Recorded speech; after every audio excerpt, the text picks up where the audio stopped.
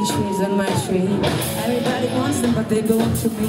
I don't wanna share anything with anyone.